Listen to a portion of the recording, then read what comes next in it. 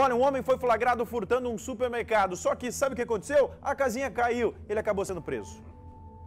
E uma equipe da Rádio Patrulha da Polícia Militar foi acionada a comparecer em um estabelecimento comercial aqui da cidade, em um supermercado, por volta das 16h30 de ontem, onde, segundo a denúncia, o indivíduo foi flagrado furtando no interior do comércio.